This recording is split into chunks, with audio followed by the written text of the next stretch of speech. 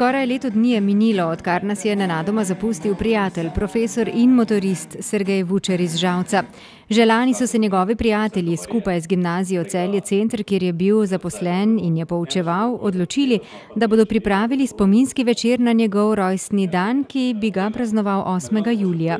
Organizacijo sta prevzela njegov bratranec Gregor Avtič ter sošolec in motorist Samo Sadnik, ki je bil z njim v skupini tudi na njegovi zadnji vožnji po italijanskih dolomitih. Kot sta povedala organizatorja, je večer nastajal spontano, brez naprej postavljenih okvirjev, takšen kot je bil Sergej, odprt za debato, razumevajoč, spoštljiv, dosleden, predvsem pa velik človek. Večer se je pričel s filmom, ki je prikazal Sergejevo življenje od mladih nog do prvega šolskega dne, vožnje z motorjem in druženje z dijaki v njegovem drugem domu na gimnaziji v Celju. Kako močno sled je pustil na gimnaziji Celje Center, je opisal ravnatelj Gregor Deleja.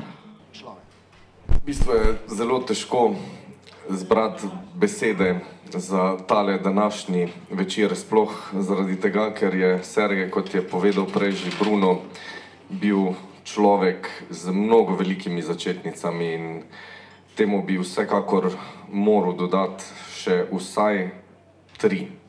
Bil je učitelj z velikim U, mentor z velikim M in pa kolega, to pa ne samo z velikim K, ampak kar vse, veliko pisano. In gimnazija Celje Center je z njim izgubila ogromno. Če se že postavim vlogo slehernega izmed nas, ki vsak dan hodimo v službo in ko stopamo v tisti prostor pred zbornico, ki mu rečemo govorilnica, se mislim, da naš pogled vedno ozre malce v desno, tja k računalnikom, kjer je ponavadi sedel ob sredinskem poslušu ali ACDC ali pa kakšno drugo glasbeno zasedbo ali kaj novega, kar je odkril in nas ponavadi s tem spravljal tudi ob živce, ker je zelo rad zraven žvižgal. Eh, tapkal s prsti po mizi in eh, veliko krat eh, je kar kakšna težka beseda padla na račun tega, da naj pa vendarle, ne mislim pa imamo delo pa tako naprej, ampak vedno si je vzel čas, da se s tabo pogovoril ali pa vedno je vprašal, kako si. Nikdar ni bil, jaz se ga ne spomnim, da bi bil slabe volje ali je bila pa ta slaba volja bolj usmerjena v to, da bi skupaj, tako kot je prej rekel, samo pa vendarle poskušali rešiti svet. In nikdar ne bom pozabil enega najnega pogovora, bilo je po eni zelo taki intenzivni sindikalni ekskurziji v Beograd in smo potem se odločili, da naredimo en after party še takrat na njegovem vikendu.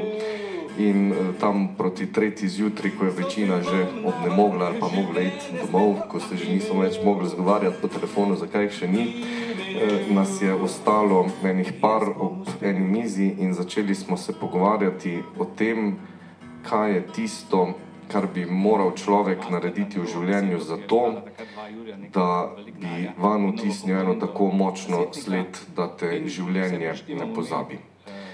In takrat je bilo izrečenih res veliko besed, ne bom pa pozabil stavka, ki ga je izrekel, in sicer to, da najbrž pa tisti, ki imamo najlažje delo pri tem, da puščamo sled, smo pa mi, ki učimo, ki delamo v šoli, ki delamo z mladimi, ki lahko vsakodnevno z našim zgledom, z našim pedagoškim delom spreminjamo življenja.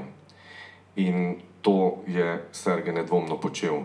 In zato še sam po slabem letu ali pa leto bo tega, kar ga fizično ni več med nami, enostavno ne morem sprejeti tega dejstva, da ga ni tukaj, ker je ta sled, ki jo je pustil, enostavno tako močna, da na nek način še vedno živi.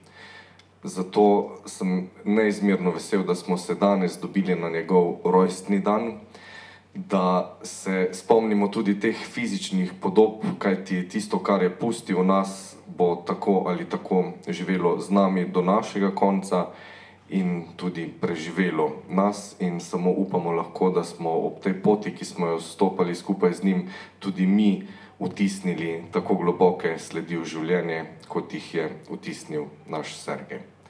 Zato mi dovolite, da mu v našem skupnem imenu voščim vse najboljše za njegov rojstni dan in da se ob letu osorej ponovno srečamo v takšni, podobni, drugačni obliki, se družimo, to je tudi neizmerno rad počel in cenil to kvaliteto sobivanja, ne preko nekega elektronskega medija, ampak takšnega uživo ob eni konkretni debati, ko smo in upam, da bomo še naprej poskušali rešiti ta svet.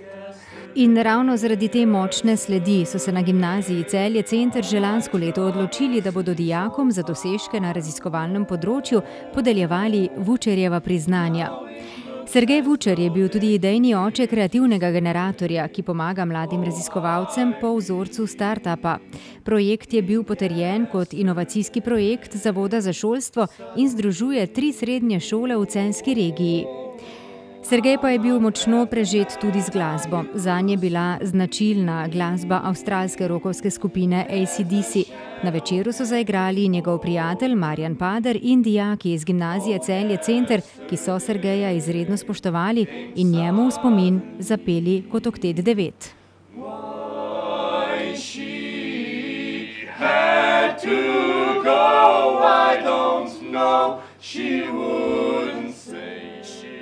Organizatori si želijo, da bi spominski večer na Sergeja Vučarja postal tradicionalen, da bi se razvijal morda v glasbenem, sociološkem smislu ali pa zgolj kot druženje dobro mislečih.